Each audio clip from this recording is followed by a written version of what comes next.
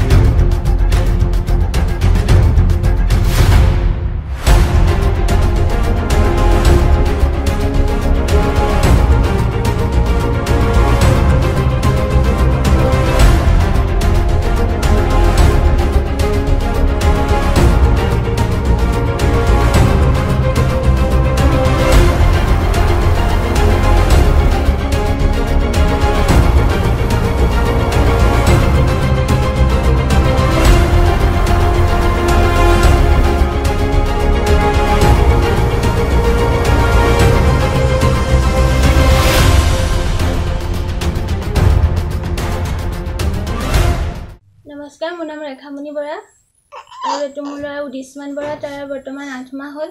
মই এগৰাকী অসহায় মাতৃ।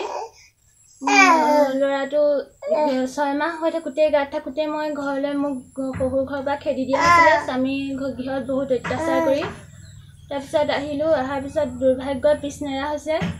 ল'ৰাটো এতিয়া আঠ মাহেই হ'ল। সি এতিয়া ভালকৈ ষ্ট্ৰং হ'ব নোৱাৰে পোন হ'ব নোৱাৰে ডিঙি বেকা মই ডক্তৰক দেখুৱাই আছোঁ ট্ৰিটমেণ্ট কৰিছোঁ যদিও সি সুস্থ হোৱা নাই। আৰু ডক্তৰে বাহিৰ গুৱাহাটীলৈ নিবলৈ কৈছে এতিয়া গুৱাহাটীলৈ নিবলৈ সিমানখিনি আমাৰ সামৰ্থ্য নাই মই মাৰ ঘৰত আছোঁ বৰ্তমান।